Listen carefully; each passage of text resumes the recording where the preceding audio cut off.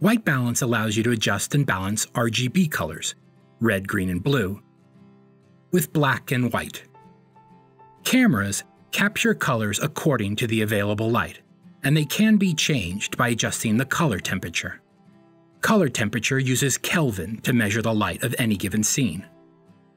Light with a higher color temperature will translate to more bluish, cooler tones, while a lower color temperature translates into more reddish, warm tones. For instance, pictures taken at sunset will feature more orange and red colors, while a picture taken on a cloudy day will be more blue.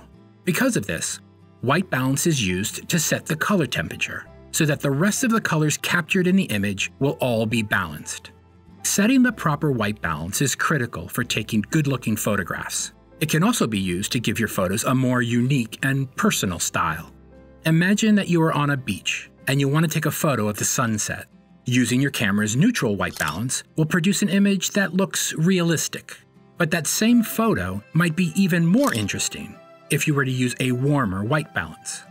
The best way to figure out what's the best white balance for your shot is to take multiple photos using different white balance settings. That way you can explore how it will affect your image, and then choose the setting that works best for you. But what if you've already captured a photo? Can you still adjust its color temperature?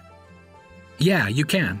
Photo editing programs give you the ability to adjust the color temperature, allowing you to make the image warmer or cooler even after you've taken the photo. GCF Global, creating opportunities for a better life.